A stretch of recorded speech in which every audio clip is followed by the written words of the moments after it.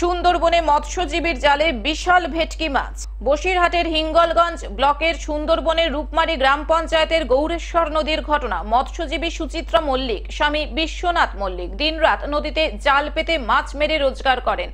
রাত্রে নদীতে জাল পাতলে তারা বুঝতে পারেন জাল এবং নৌকা কেঁপে উঠেছে। গতকাল সকালবেলায় তারা জাল খোলার চেষ্টা করলে দেখতে পান বিশালাকার দেশি ভেটকি মাছ। সেই মাছ নদী থেকে পারে তোলা মাত্রই দেখার জন্য ভিড় জমান সাধারণ মানুষ।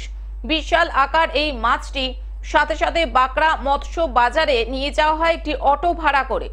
বাজারে নিয়ে গিয়ে ওজন করা হলে দেখা যায় পঁচিশ কেজি তিনশো গ্রাম হয়েছে, যার দাম একসানে দাঁড়িয়েছে এক টাকা থেকে দশ হাজার তিনশো টাকা। এই মাছটির মোট দাম পঁচিশ হাজার সাড়ে সাতশো টাকা। মৎস্যজীবী সুচিত্রা মল্লিক জানালেন, মাছটি পেয়ে একটি মোটা অঙ্কের টাকা আয় করতে পারলেন। তিনি খুব খুশি এবং সেই সাথে সাথে এটাও জানালেন মৎস্যজীবীদের কোনো সুযোগ সুবিধা বা পরিচয় পত্র এখনও পর্যন্ত সরকারি তরফে তিনি পাননি।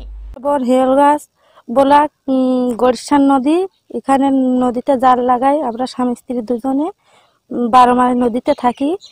নদীতে আমাদের বাস হঠাৎ জাল ধরে রাত্রে শুয়েছিলাম হঠাৎ জাল কাঁপে উঠেছে। উঠে দেখি বড় ভেটকি মাছ পড়ে আছে। নিয়ে যাই বাংলার ছেটে সেখানে এক টাকা থেকে দাম উঠতে উঠতে ছশো, সাতশো টাকা অবধি উঠেছে। উত্তর চব্বিশ পরগনা থেকে শ্যাম বিশ্বাসের রিপোর্ট গ্লোব নিউজ।